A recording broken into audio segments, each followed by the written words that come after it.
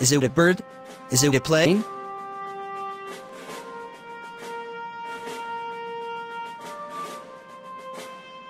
No! It's Chris Man.